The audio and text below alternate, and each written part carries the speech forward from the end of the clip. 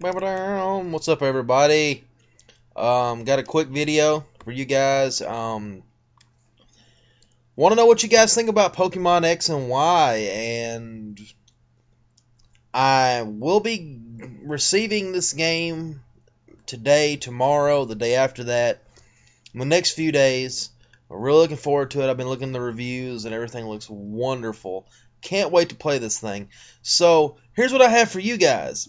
Number one, if you play this thing, put your friend code down here. And when I have mine, I'll put it down there too. We can trade some Pokemons. And number two, you get Torchic and you get Charmander, which are probably my two favorite Pokemon. And then Mewtwo, obviously, is my third favorite.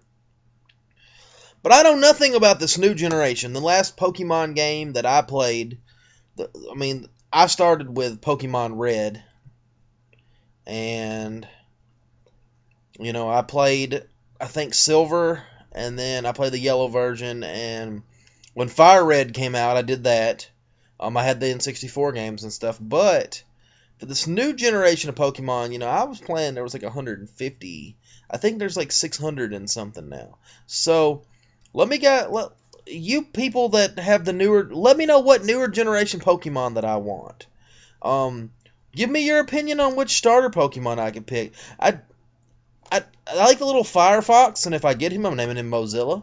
But I don't know. Seeing how I'm already gonna have Torchic and Charmander, it kind of steers me away from that. Or does that matter? You let me know. You guys are the Pokemon maniacs out there. Let me know what I should do. I'm a I'm an old school Pokemon master, but I've been out of the game for a while, so help me get back in the game. Let me know what you guys think. What which Pokemon starter is uh, do you think is best? Which new Pokemon? Which are your favorite? Um, don't forget to leave your codes down there, and uh, I'll add you to the friend safari that I've been watching videos and reading about and everything.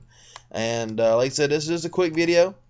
Thank you guys. Um, like I said, please uh, give. I need your I need your help. I need your advice.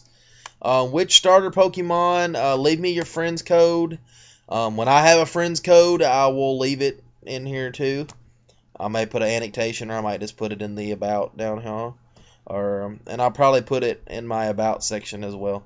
But thank you guys for watching, and let me know. And I can't wait, and I really look forward to reading you guys' comments. Hopefully, with the whole Google Plus thing, you guys can still leave comments.